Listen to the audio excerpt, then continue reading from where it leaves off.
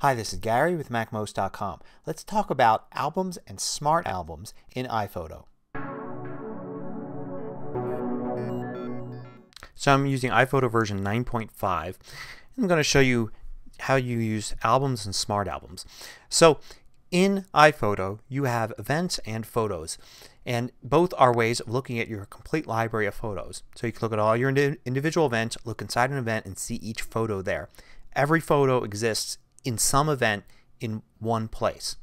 Photos is just a way to look at all of your photos but not inside events. So all the photos are just in one big list here. Photos are the same. This photo here of Alaska Mountains is the same as the one inside this event. Just two different ways of looking at it. Grouped as events or just not grouped at all in one huge list. Now in addition to that you can also create albums.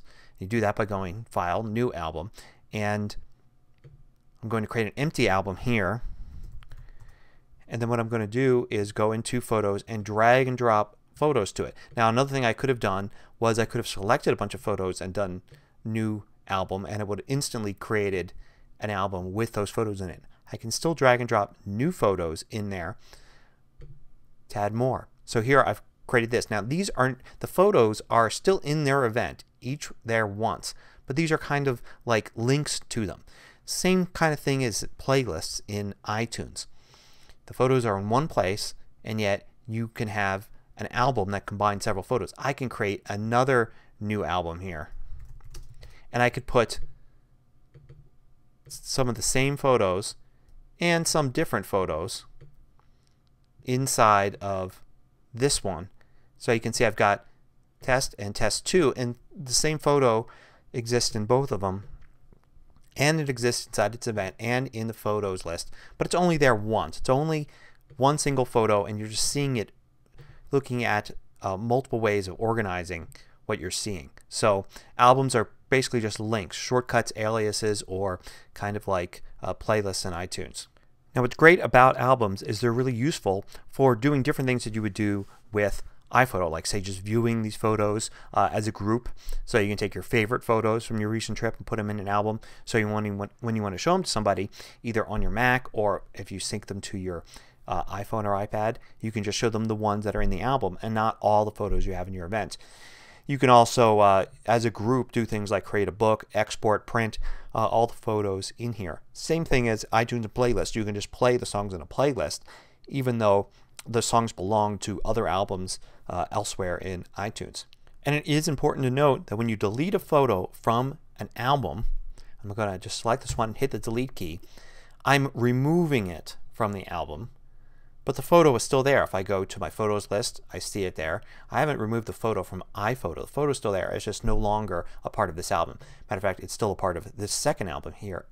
So it's important to remember that if you go to events and you decide to remove a photo from here, that is really going to delete it from your iPhoto collection. So a smart album is a different type of album.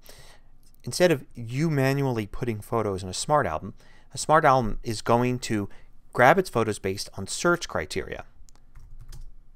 So we're going to create one here and you can do all sorts of things uh, for conditions here. Like for instance camera model. You could say give me create a smart album with all the pictures that were taken on uh, let's say uh, my old Olympus camera which took some of my oldest photos and hit OK and then I've got in this Test Smart, this app called Test Smart, I have all these photos. These were all taken with that camera.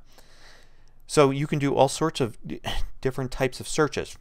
If I control click on this I can actually edit this and say well instead of doing that let's uh, search by the type of photo whether a flash was used um, keywords that you're using in iPhoto for various things uh, and all sorts of different things including uh, if you use faces uh, who is in the photo.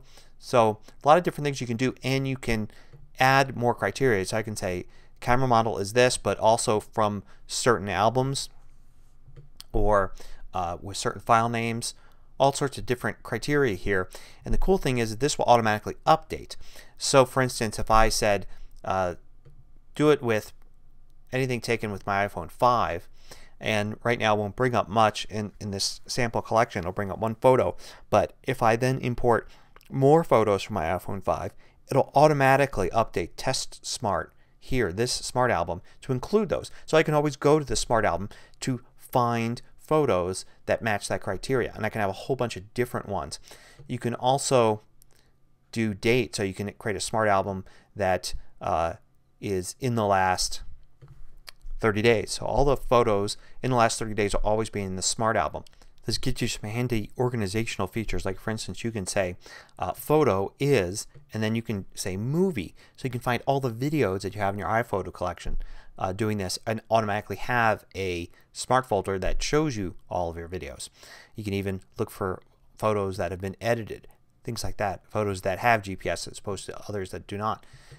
Or look for photos that do not have GPS. So there's a lot you can do uh, with smart albums. You can create as many of these as you want and populate the, the left side uh, albums with smart albums and edit and update them and remove them.